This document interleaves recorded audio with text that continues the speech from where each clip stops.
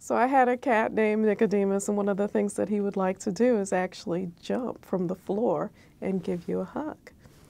Well, I wasn't married at the time, so I was dating.